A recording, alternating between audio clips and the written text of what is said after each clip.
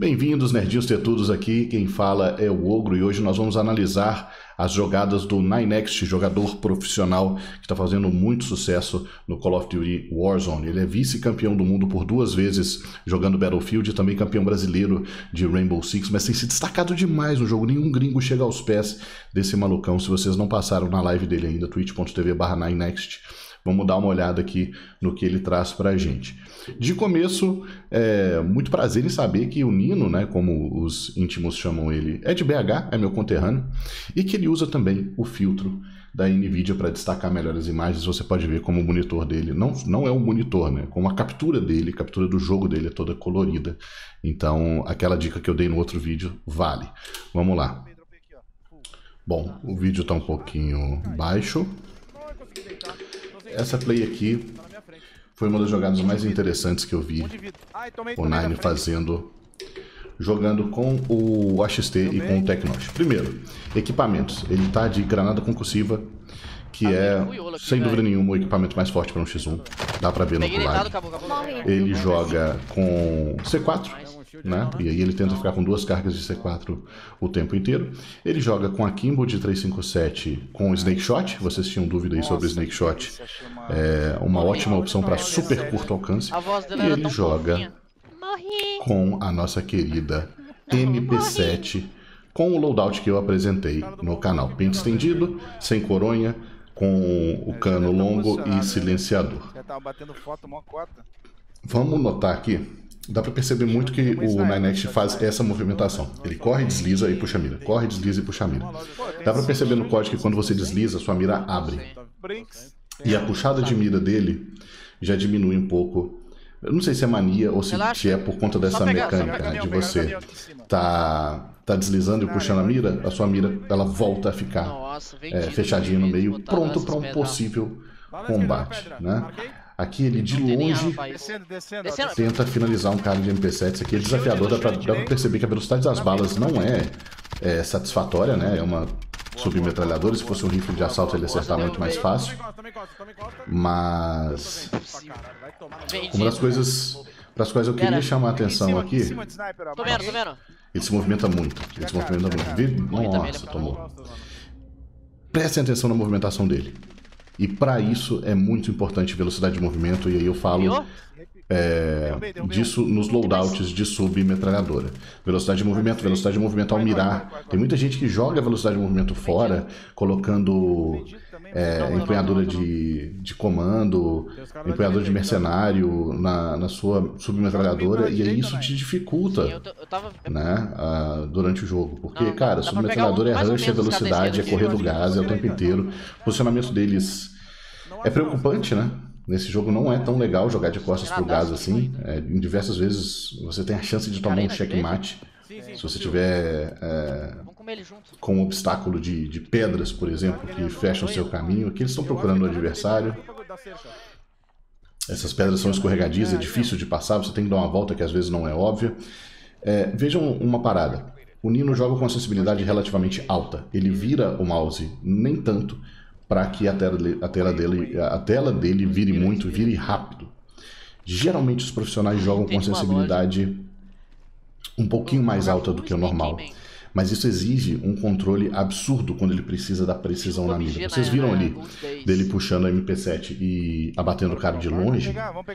Que a, mira, a tela dele mira, vira rápido. Mas quando ele precisa de travar a mira no adversário, a MP7 dele gruda. Mas gruda fácil. Então é aquela coisa, né? A, a sensibilidade baixa ela, ela minimiza os seus erros. Agora, quando você tem uma precisão boa, quando você tem uma mecânica boa, e você aumenta essa sensibilidade e consegue permanecer on target, aí você é realmente o bichão. Quem falou que o Ninext é muito acima da média não fui eu, tá? Foi o Zigueira, ex-jogador de Rainbow Six, campeão da Pro League. É, o cara virou e falou, velho, o, o Nino tá um é degrau acima de todos os gringos, por exemplo. Tá? Aqui eles estão fazendo um contorno interessante em direção ao loadout e é, fazendo, fazendo o trabalho para o negativo, né? Chegando na casa. Oi? Yuri atrás da pedra. Vejam como eles exportam. Tá. Como eles exportam, tá? Aí, acertou o stun. C4, a gente já falou de C4 e de explosivos no vídeo, tanto que eles estão fortes. A gente vai ver que o Nino recarrega essas duas cargas de C4, ele puxa esses dois C4 de novo, então aqui, a 5 minutos do final, ele gasta os dois C4, ele vai puxar esse C4 de novo. Deu uma entrada ali na, no gás, procurando alguma frente, coisa. Frente, chegando, chegando. Cortando caminho. Vejam essas balas aqui. Foi? Eu preciso zetar, preciso zetar. Isso aqui é interessante, ele vai puxar Snake Shot pra finalizar um alvo. Tá trocando de MP7, não acertou nada. Não vejo nada, velho. Tá só marcando. Cai, cai, cai, cai, cai. Uma coisa Será tá importante tá é...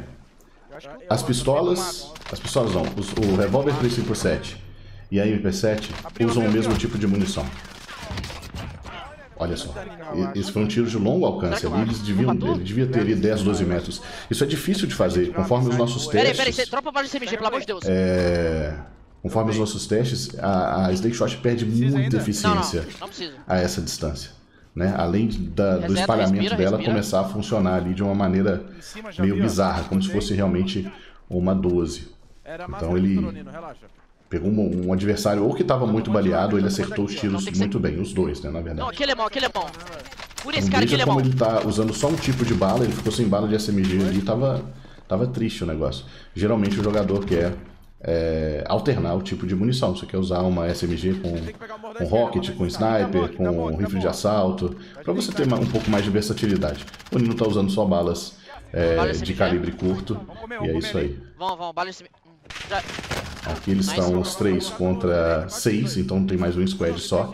E aí preste atenção nessa última jogada aí, porque eu vi esse clipe umas duas vezes já, mas eu praticamente não enxerguei os adversários. A qualidade não tá muito boa, porque é um clipe retirado da live, mas eu praticamente não, não enxerguei os adversários aí. O cara é bravo né? demais no meio da, da floresta, nas árvores, jogando C4 pra todo lado. Ele já tá com as duas cargas de C4 é, de volta. E agora um dos melhores clipes que eu já vi, já vi na minha vida.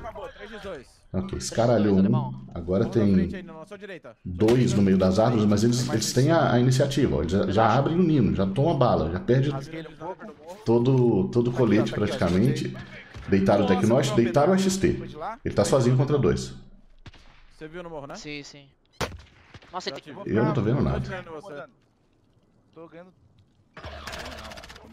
Tá, um comeu, um comeu esse da frente. Ok. Mandou um stun, beleza. Abriu. Nossa, tomou muito no segundo. Meio life. Cinquentinha de vida aí. Olha isso, velho. Aí, Stanzinha. A Stanzinha salvadora. Sal... Isso é 4. Já tá. Só que tem self-res ainda. Não, tá vivo. Tá vivo. Tem um que tá vivo lá. Acho que foi o primeiro que ele matou. Que deu self-res. Olha isso. Joga e não é pouco, hein, moleque. Olha isso. Caralho, mano. Olha isso. Não é pouco mesmo, velho. Mano, joga e não é pouco, hein, velho. Vai te tomar no cu, porra. Vai, Vai te se tomar. fuder nesse caralho. Eu, mano, cara é bom. eu deixei de fazer isso, é isso, cara. Ah, na moral, na moral, na moral. Cara é bom. Cara é bom. Cara é bom. Cara é bom. Cara é. Nossa, nossa. Então é. Espero que vocês gostem desse modo de estudar o jogo dos profissionais. Eu sou comentarista de esporte já tem três anos. Eu, chamo, eu trabalho com a Blizzard em Hearthstone. Sou comentarista de Hearthstone, não sei se vocês conhecem meu trampo. Mas eu gosto de assistir as jogadas, eu gosto de entender o que o profissional está fazendo mecanicamente, é, enfim, em todos os aspectos do jogo. Então a gente viu aqui a utilização dos equipamentos, tanto o letal quanto o tático. Nós vimos aqui a semelhança entre a munição que ele está usando nas duas armas, nós vimos a utilização da MP7 da Snake Shot, nós vimos a utilização brilhante das granadas de concussão. O C4 on point, tanto para derrubar quanto para finalizar. E, brother, a, a, o game sense do, do, cara, né, velho? A utilização da granada de concussão ao invés de, por exemplo, um sensor de batimento cardíaco, indica que o profissional ele simplesmente ele sabe o tempo inteiro onde o adversário está e raramente ele vai tomar uma costinha, né? Ou ele tem habilidade para pegar um cover igual nessa floresta aqui e evitar um, uma troca desvantajosa. Vamos ver essa, essa, essa jogada de novo? Porque é uma das coisas mais lindas que eu já vi nesse jogo. Tá? Ele acaba derrubando o primeiro. Derrubando o primeiro, o Tecnosh cai. E agora ele tem dois ali. O primeiro que ele derruba acaba se ressuscitando, né? O AXT caiu agora. Tá aqui, ó, tá aqui, ó. Os caras eram bons de bala. Os caras eram bons de tiro. Vocês viram que o que o Nino fica com 50 de vida ali, logo no começo da trocação. É você. É. Então a importância do spot, né, de spotar. É, é, muito frustrante jogar em time com quem fala assim, ali, ali, ali, ali, ali, ouviu o inimigo, tem aqui comigo.